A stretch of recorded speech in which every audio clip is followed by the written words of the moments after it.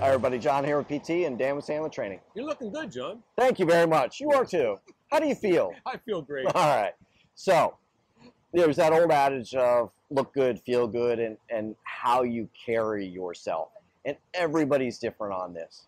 Um, you'll notice in these, I, I, pick on Bob a little bit. It's it's it's a, it's a lot of love. It truly is. I don't know why you do so much pick on Bob. I, we're, polar. He's a great guy. He is, but we're polar opposites. So Bob, Bob's a suit and tie guy. Yeah. That's how he's comfortable. That's how he, how he feels ready to go. I'm clearly not a suit and tie guy. but everybody also has reasons behind what their approaches are. But I think if you go into a sales conversation, if you don't, in your eyes, look good, feel good, you're not going to perform at your best. So you need to figure out whether it's how you dress, whether it's your haircut, haircut. Wow. Wow whatever it is, whatever makes you stand tall, those are the things you want to do. So when you're coming into that conversation, they view you standing tall. I think it makes a huge difference. Power comes from within. Yep. It doesn't come from without. I could have the nicest suit on and I could feel like, you know, just really bad. And guess what? People look at me like I'm really bad.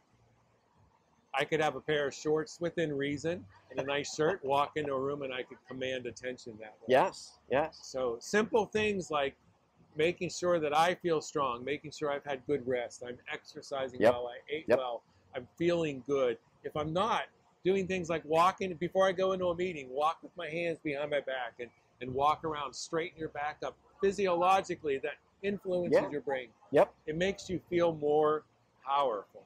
And then when you go into a room, it's eye contact. Boom, boom, boom, boom, boom. Demand that attention. Yes.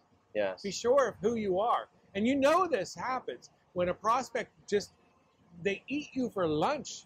and I've had that happen. It happens to me. Oh my I get goodness. it. I get and you it. walk out and you go, "What was that all about?" I, I just got my ass kicked. What went down? Ridiculous. Yes. And most of the time, it's because I was feeling insecure. Yep. Or I was feeling down.